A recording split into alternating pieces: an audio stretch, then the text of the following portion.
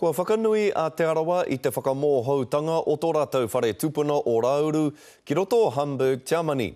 He ai ki ngā kōrero kotahi miriona tāra i pau ki te whakamōhoutanga nei.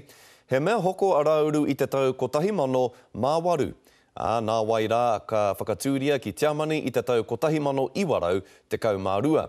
Kotahi rau tau i muri iho, kua tūtaki anō ōna uri ki a ia.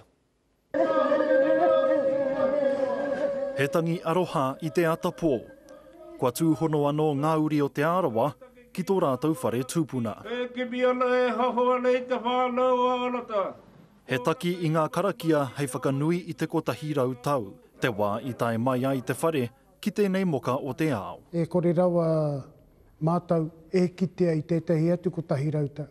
Engari, koirā rā i tokomaha ai te haerenga mai, te whakawhitihana mai o Te Arawa i te rā nei ki te whakanui i tōna kotahi rau tau. Nā te whare pupuri taonga te whare nei i hoko. Ka kawea mai mā runga kaipuke.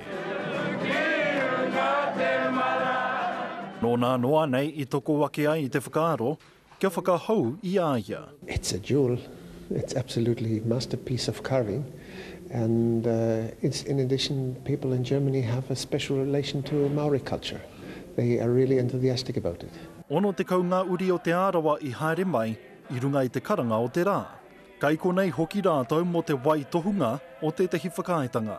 Ka noho a Rauru hei whare hui mō te kāwanatanga o Aotearoa. Hei whare whakatairanga hoki i ngā kaupapa pākihi.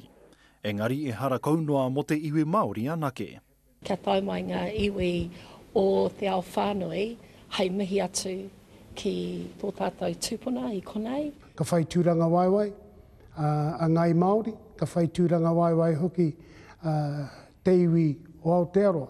Ka haramai ai rātou ki konei, ka kite ake he whare e tū ana i konei, ā, kua noho tūrangawaewae ia. Tutuki ai te kōrero, ka mate kāinga tahi, ā, ka ora mai kāinga rua, ā, koirā ka tū nei tēnei whare.